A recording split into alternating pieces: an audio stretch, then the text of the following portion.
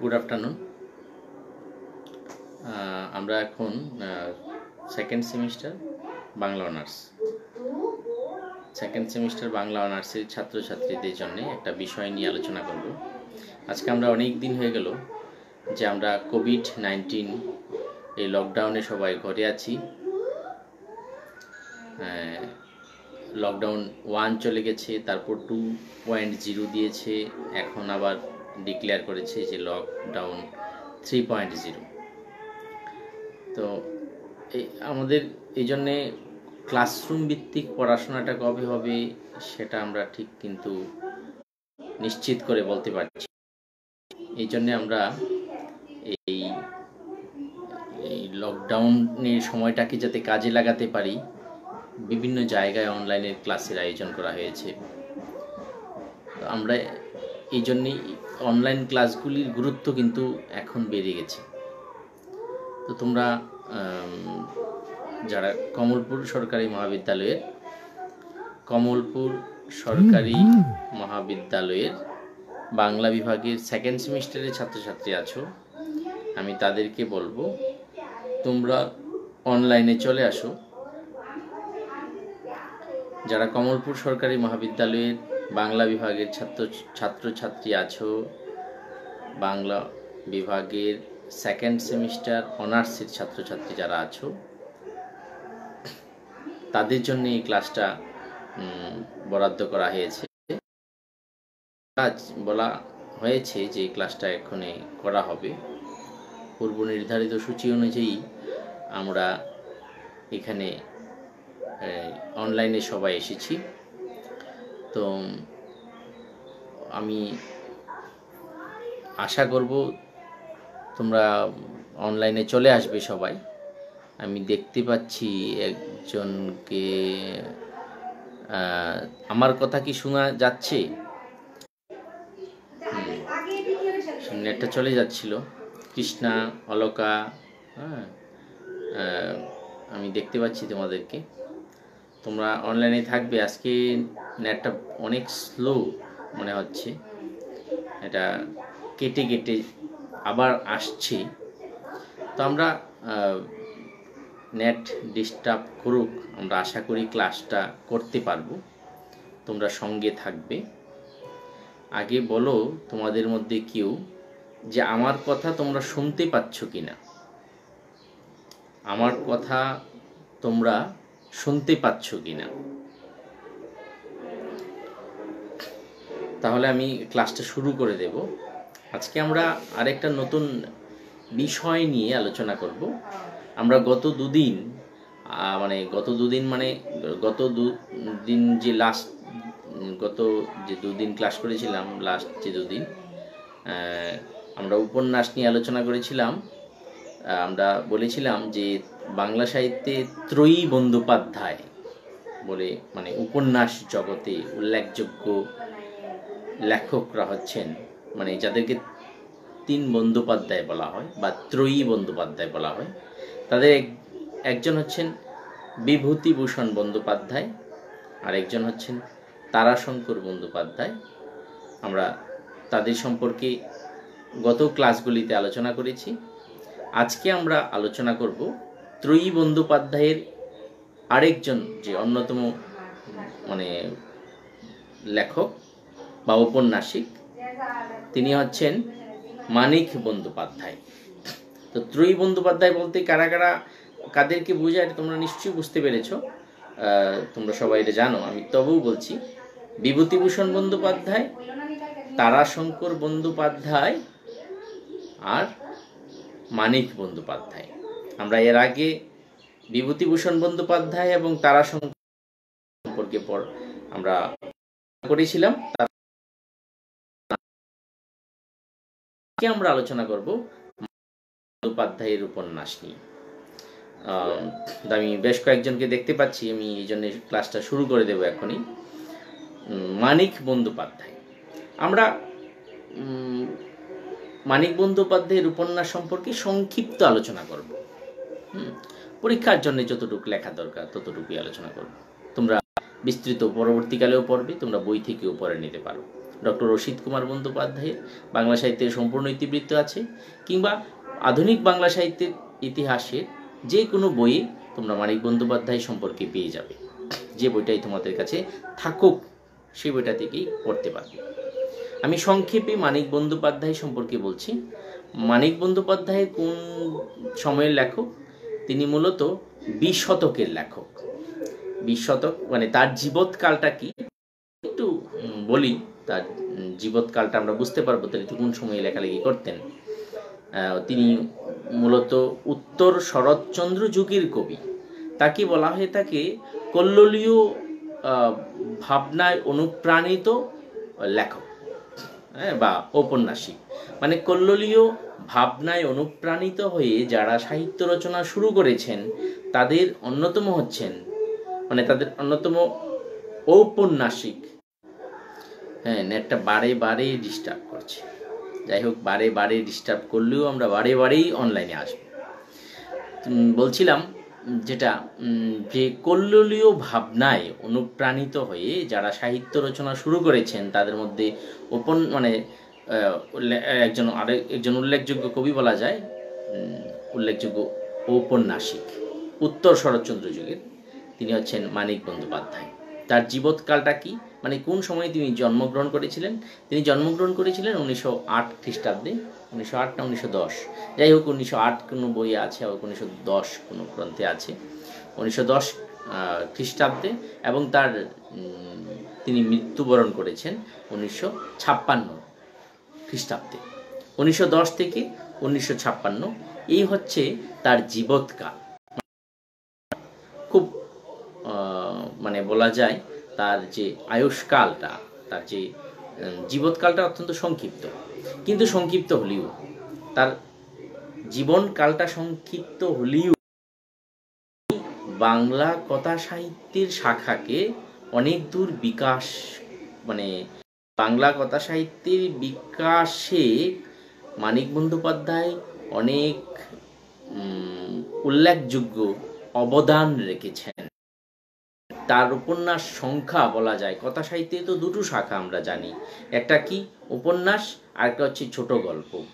তিনি, আমরা আলোচনা করব উপন্যাস নিয়ে, বা, মানিক বন্দ্যোপাধ্যায়ের উপন্যাস নিয়ে। তো, তার উপন্যাস সংখ্যা কয়টি? তিনি জন মানে বেঁচে ছিলেন খুব বেশি দিন নয়, উনিশশো উনিশশো ছাপ্পান্ন বা উনিশশো আট থেকে উনিশশো ছাপ্পান্ন, যেটাই বলি।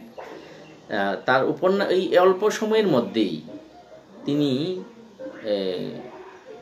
অল্প সময় কেন তিনি দুই যক্ষা রোগে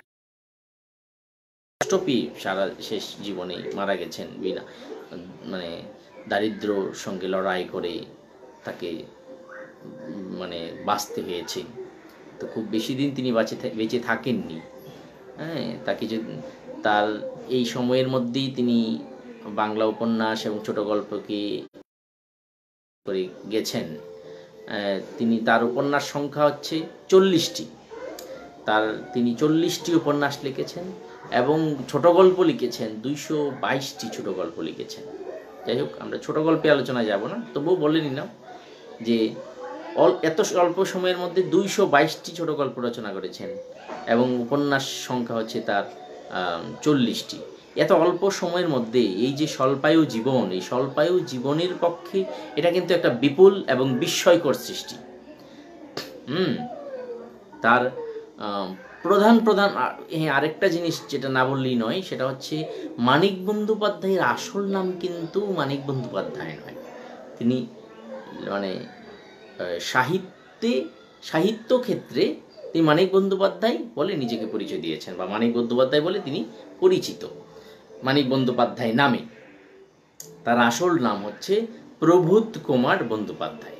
অনেক সময় প্রশ্ন থাকে বা জায়গায় যে মানিক বন্দ্যোপাধ্যায়ের আসল নাম কি?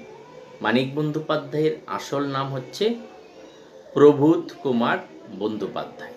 কিন্তু সাহিত্য জগতে তিনি, সাহিত্য জগতে তিনি মানিক বন্দ্যোপাধ্যায় নামে পরিচিত। বোঝা গেছে?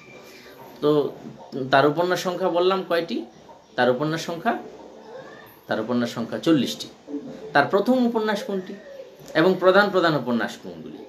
এগুলি সম্বন্ধে এবং মানে আমরা আলোচনাটা সীমাবদ্ধ রাখব। তার প্রথম উপন্যাসটা কোনটি? প্রথম উপন্যাসটির নাম কি? এরপর তার উল্লেখযোগ্য উপন্যাস কোনগুলি? হ্যাঁ এবং বাংলা ও তার মানে ঔপন্যাসিক বৈশিষ্ট্যটা কি? মানে উপন্যাসে জগতে তার নিজস্বতাটা কোন জায়গায়? মানিক বন্দ্যোপাধ্যায়ের মৌলিকতাটা কোন জায়গায়? কোন ধরনের লেখালেখি তিনি করেছেন? বাস এইটুকু আমরা আলোচনা করব। এটা যেটা আমি চল্লিশটি উপন্যাস আসল নাম হচ্ছে প্রবোধ কুমার বন্দ্যোপাধ্যায়। কবি সাহিত্য জগতে তিনি মানিক বন্দ্যোপাধ্যায় নামে প্রসিদ্ধ। তার প্রথম রচনা হচ্ছে মানে প্রথম উপন্যাস দিবারাত্রির কাব্য। এটা তার প্রথম উপন্যাস এটা বেরিয়েছিল উনিশশো পঁয়ত্রিশ খ্রিস্টাব্দে। উনিশশো পঁয়ত্রিশ দিবারাত্রির কাব্য। তার প্রথম প্রকাশিত কার? মানিক বন্দ্যোপাধ্যায়। তার উল্লেখযোগ্য উপন্যাসগুলি কি কি? তার উল্লেখযোগ্য উপন্যাসগুলি হচ্ছে আহ, দিবারাত্রি কাব্য উল্লেখযোগ্য উপন্যাস পুতুল নাচি রীতিকথা হ্যাঁ পদ্মা নদীর মাঝি হ্যাঁ পুতুল নাচি রীতিকথা পদ্মা নদীর মাঝি, শহরতলি, অহিংসা হ্যাঁ অমৃতস্ব পুত্রা এগুলি হচ্ছে মানিক বন্দ্যোপাধ্যায় রচিত প্রধান প্রধান উপন্যাস। আমি আরেকবার বলছি, মানিক বন্দ্যোপাধ্যায়ের প্রধান প্রধান উপন্যাসগুলির নাম বললেই কোনগুলির নাম বলতেই হবে? দিবারাত্রির পুতুল নাচের রীতিকথা, পদ্মা নদীর মাঝি, শহরতলি, অহিংসা, অমৃতস্য পুত্রা প্রভৃতি।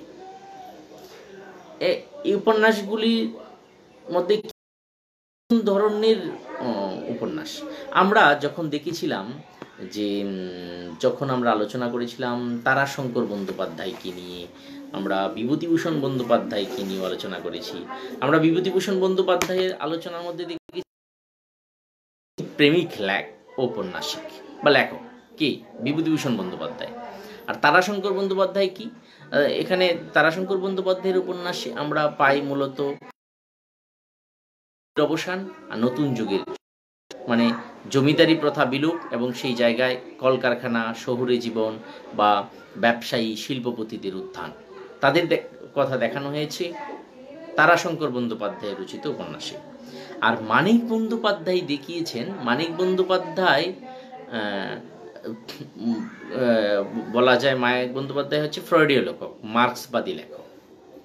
মার্ক্সবাদী লেখক। সাধারণ মানুষের কথা, তার উপন্যাসে আছে। সাধারণ মানুষের কথা। সাধারণ মানুষের জীবন চিত্র তার তার মানে মানিক বন্দ্যোপাধ্যায় এর উপন্যাস লেখার পটভূমিটা কি? আমরা দেখেছিলাম তারাশঙ্কর বন্দ্যোপাধ্যায় যখন আলোচনা করেছিলাম তখন দেখেছি আমরা তারাশঙ্কর বন্দ্যোপাধ্যায় আলোচনা করেছেন রাঢ় বঙ্গের কথা মানে পশ্চিমবঙ্গের মানুষদের বা পশ্চিমবঙ্গের অঞ্চল বিশেষের মানুষদের সম্বন্ধে অভিজ্ঞ ছিলেন তারাশঙ্কর বন্দ্যোপাধ্যায়। এই জন্যে রাঢ়বঙ্গের কথাই বা পশ্চিমবঙ্গের অঞ্চল বিশেষের কথাই তারাশঙ্কর বন্দ্যোপাধ্যায়ের উপন্যাসে বর্ণিত হয়েছে। আর মানিক বন্দ্যোপাধ্যায় অভিজ্ঞ ছিলেন পূর্ববঙ্গের পরিবেশ পূর্ববঙ্গের পরিবেশ, ওই অঞ্চলের মানুষ, সাধারণ লোকের জীবনযাত্রা মানে কে? মানে জীবনচিত্রকে খুব দক্ষতার সঙ্গে তুলে ধরেছেন। কি বললাম? পূর্ববঙ্গের মানুষদের বা পূর্ববঙ্গের পরিবেশে ওই অঞ্চলের মানুষদের জীবনচিত্রকে মানিক বন্দ্যোপাধ্যায় তার বেশিরভাগ উপন্যাসে ফুটিয়ে তুলেছেন। বোঝা গেছে? মানে তার মানিক বন্দ্যোপাধ্যায়ের রচিত উপন্যাসগুলির পটভূমি হচ্ছে পূর্ববঙ্গ এবং তার পার্শ্ববর্তী অঞ্চল। পূর্ববঙ্গের অঞ্চলের মানুষদের সাধারণ লোকের জীবনচিত্রকে, মানুষদেরকে মানে সাধারণ মানুষের জীবনচিত্রকে ফুটিয়ে তুলেছেন মানিক বন্দ্যোপাধ্যায় তার বেশিরভাগ উপন্যাসে। আমরা আলোচনা করতে পারি, আলোচনা মানে সংক্ষিপ্ত আমরা উল্লেখ করতে পারি এই এই প্রসঙ্গে। তাহলে তার উপন্যাসের বৈশিষ্ট্যটা আমরা বুঝতে পারব। যেমন আমরা উল্লেখ করতে পারি পদ্মা নদীর মাঝি উপন্যাসটির কথা। পদ্মা নদীর মাঝি উপন্যাসে কি আছে? পদ্মা নদীর মাঝি উপন্যাসটির মধ্যে বর্ণিত হয়েছে, আমরা দেখব পূর্ববঙ্গের পদ্মা তীরবর্তী। পূর্ববঙ্গের মধ্যে পদ্মা নদী অবস্থিত পদ্মার ইলিশ খুব বিখ্যাত। সেই সেই পূর্ববঙ্গের পদ্মা তীরবর্তী কেতুপুর নামক গ্রামের মানুষদের মানে পদ্মা নদীর তীরবর্তী জেলে মাঝিদের জীবনচিত্রকে মানিক বন্দ্যোপাধ্যায় তার পদ্মা নদীর মাঝি উপন্যাসে তুলে ধরেছেন। এলে পূর্ববঙ্গের মানুষদের কথা। তো শুধু অত্যন্ত মানে এই যে পদ্মা নদীর মাঝি উপন্যাসটি পদ্মা নদীর মাঝি উপন্যাসে এই যে অঙ্কিত পূর্ববঙ্গের জেলে মাঝিদের জীবনচিত্র অত্যন্ত জীবন্ত হ্যাঁ খুব সুন্দরভাবে মানে তিনি বাস্তবতার মানে ওই ওই অঞ্চলের মানুষদের জীবনধারাকে তুলে ধরেছেন। উপন্যাসের প্রধান চরিত্র কবির বা বিভিন্ন চরিত্রের মধ্য দিয়ে। আমরা এটা আলোচনা করেছিলাম কেন? যে আমরা দেখেছিলাম যে পূর্ববঙ্গের অঞ্চলের, পূর্ববঙ্গের পরিবেশে মানিক বন্দ্যোপাধ্যায়ের উপন্যাসগুলি মানে পূর্ববঙ্গের পরিবেশের জীবনধারার চিত্রণে মানিক বন্দ্যোপাধ্যায় ছিলেন অভিজ্ঞ। যেমন পদ্মা নদীর মাঝি উপন্যাসটির কথা আমরা বললাম। আরেকটা, তার উপন্যাসের বৈশিষ্ট্য আমরা দেখব যে, যদি আমরা দেখি তার উপন্যাসে তিনি সাধারণ মানুষদের মানে মানুষকে রক্ত মাংসের মানুষ রূপে গড়ে তুলেছেন। মানে মানিক বন্দ্যোপাধ্যায় তার উপন্যাস জগতের চরিত্রগুলিকে, চরিত্রগুলির মধ্যে কোনো অতি ভাব নয়। রক্ত মাংসের গড়া দেহজীবী মানুষ রূপে তিনি চরিত্রগুলিকে দেখেছেন, এঁকেছেন বা দেখেছেন। হ্যাঁ মানে মানুষকে তিনি উপন্যাসে দেহজীবী মানুষরূপেই দেখেছেন। হ্যাঁ রক্ত মাংসে গড়া মানুষরূপেই দেখেছেন। আমরা আলোচনা আমরা উদাহরণ হিসেবে উল্লেখ করতে পারি পুতুল নাচের ইতিকথা উপন্যাসটির মধ্যে। এই যে শশী কুসুমের যে সম্পর্ক দেখানো হয়েছে, যে তাদের যে সমাজ বিরুদ্ধ, নীতি মানে বিরুদ্ধ সম্পর্ক বলা যায়। কার? শশী এবং কুসুমের। শশী এবং কুসুমকে পুতুল নাচের ইতিকথা, উপন্যাসের নায়ক নায়িকা। নায়ক হচ্ছে শশী। তার সঙ্গে অবৈধ বা নীতি বিরুদ্ধ সম্পর্ক নিয়ে একটা মানে অপূর্ব প্রণয়ের চিত্র অঙ্কন করেছেন মানিক বন্দ্যোপাধ্যায় তার পুতুল নাচের ইতিকথা, উপন্যাসে। হ্যাঁ তো মানে আমরা এই উপন্যাসটার আলোচনাটা কেন আনলাম? যেমন আমরা আলোচনাটা এই জন্যই আনলাম যে মানিক বন্দ্যোপাধ্যায় উপন্যাসে মানুষকে তিনি দেহজীবী রক্ত মাংসে গড়া মানুষরূপেই এঁকেছেন। এবং সেই জন্যে যে তার মানে মানে এই মানুষগুলির মধ্যে আদিম জীবনচিত্র বা মনোবিকারের ছবিও দেখা গেছে। আমরা কিন্তু পদ্মা নদীর মাঝি উপন্যাসেও সেটা দেখতে পাবো, যে যে কপিলা কপিলা যে কুবেরের কাছা, কাছাকাছি চলে আসে হ্যাঁ কপিলার মধ্যে কুবেরের সংস্পর্শে আসা, এটাও কিন্তু একটা নীতি বিরুদ্ধ হ্যাঁ কিন্তু মানিক বন্দ্যোপাধ্যায় কি? আমরা আমরা কি বলতে চাইছি? যে মানিক বন্দ্যোপাধ্যায় হচ্ছে রক্ত মাংসে করা সজীব চরিত্র সজীব চরিত্রের সৃষ্টিকর্তা হ্যাঁ? তো এই সজীব চরিত্রগুলি তো সজীব তখনই হয়ে উঠবে যদি মানুষগুলিকে, বাস্তব মানুষগুলিকে আঁকা যায়। মানে মানুষের যে বাস্তব দিক যেটা, সেটাকে তুলে ধরা যায়। তো তার উপন্যাসে, মানিক বন্দ্যোপাধ্যায়ের উপন্যাসে আমরা সেই বাস্তব দিকগুলি দেখতে পাই। হ্যাঁ? আমরা তার অন্যান্য উপন্যাসের মধ্যেও অন্যান্য মানিক বন্দ্যোপাধ্যায়ের মানিক বন্দ্যোপাধ্যায়ের মানে ঔপন্যাসিক প্রতিভার পরিচয় রয়েছে। তার প্রথম উপন্যাসটার সম্পর্কে একটু বলি তার প্রথম প্রকাশিত উপন্যাস সম্পর্কে, সেটা হচ্ছে দিবারাত্রির কাব্য। তবে প্রথম উপন্যাস কিন্তু বলা হয় অনেক থাকে, অনেক সময় জননী, দিবারাত্রির কাব্য। তো জননী রচনা রচিত হয়েছিল আগে, কিন্তু প্রকাশিত হয়েছিল কিন্তু দিবারাত্রির কাব্য। এই ব্যাপারটা এরকমই।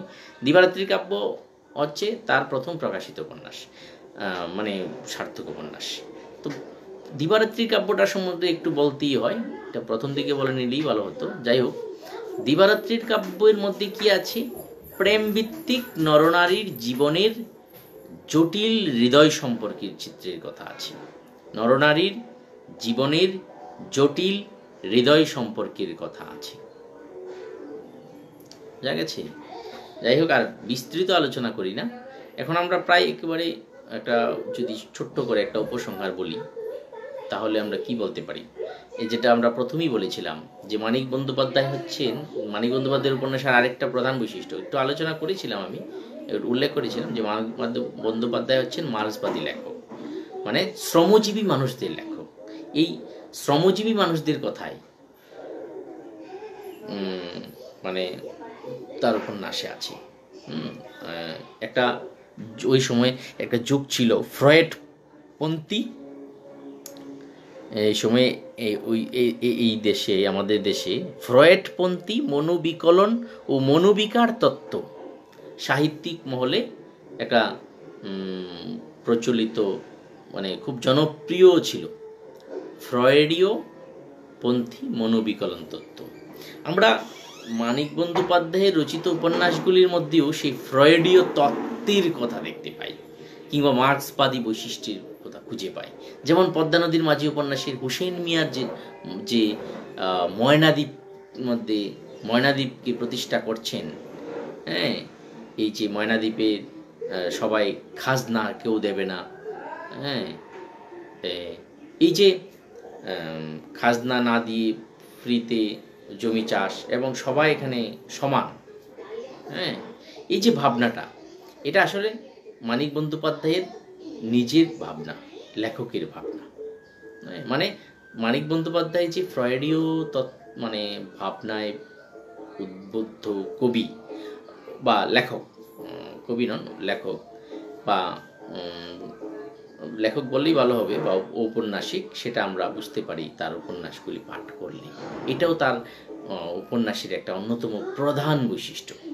যাই হোক, আমরা এইভাবে মানিক বন্দ্যোপাধ্যায়কে, মানিক বন্দ্যোপাধ্যায়ের উপন্যাসের উপন্যাসের আলোচনার রীতি জানতে পারি এইভাবে যে মানিক বন্দ্যোপাধ্যায় হচ্ছেন উত্তর শরৎচন্দ্র যুগের অন্যতম শ্রেষ্ঠ কথাশিল্পী কি বলছি? উত্তর শরৎচন্দ্র যুগের মানে অন্যতম কথাশিল্পী হচ্ছেন মানিক বন্দ্যোপাধ্যায়। হ্যাঁ? যার মধ্যে মানে কল্লোলীয় ভাবনায় অনুপ্রাণিত অনুপ্রাণিত হয়ে যারা সাহিত্য রচনা শুরু করেছিলেন, তাদের মধ্যে অন্যতম হচ্ছেন মানিক বন্দ্যোপাধ্যায়। মানিক বন্দ্যোপাধ্যায়ের উপন্যাসগুলি আমরা আলোচনা করে আমরা মানিক বন্দ্যোপাধ্যায় এই মানে একজন মানে ব্যতিক্রমী লেখককে খুঁজে পাই। মানিক বন্দ্যোপাধ্যায়ের উপন্যাসগুলি পাঠ করলে বোঝা যায় যে এটা মানে এর মধ্যে একটা একটা ভাবনা আছে। একটা জায়গায় এই জায়গাটা বলি, জায়গাটা জায়গাটা বলি যে মানিক বন্দ্যোপাধ্যায়ের লেখার প্রধান বৈশিষ্ট্যটা কি? আমরা এই জায়গাতেও বলতে হয় যে আমরা যেমন তারাশঙ্করের মধ্যে দেখেছিলাম একটা দার্শনিক ভাবনা হ্যাঁ বা আদর্শবাদ প্রতিষ্ঠার কথা বলা, আদর্শবাদ প্রতিষ্ঠার কথা। তারাশঙ্কর বন্দ্যোপাধ্যায়ের আলোচনা প্রসঙ্গে আমরা দেখেছিলাম। কিন্তু মানিক বন্দ্যোপাধ্যায় কিন্তু ওই মানিক বন্দ্যোপাধ্যায়ের লেখায় সেই ধরনের দার্শনিক প্রবণতা আমরা দেখি না, বরং তিনি মানুষকে এই যে সাধারণ মানুষদেরকে তুলে ধরতে চেয়েছেন সাহিত্যের মধ্য দিয়ে মানে সাধারণ মানুষদের কথাই তিনি বলতে চেয়েছেন সাহিত্যের মধ্য দিয়ে। এই ভাবনাটাই কিন্তু মানে মানে মূলত মানিক বন্দ্যোপাধ্যায় তার গল্প, উপন্যাসে মানুষদেরকে তুলে ধরতে চেয়েছেন এবং মানুষদেরকে দেহজীবী মানুষরূপে বর্ণনা করেছেন। এই জন্যে মানিক বন্দ্যোপাধ্যায়ের রচিত উপন্যাসগুলি অনেক বেশি বাস্তব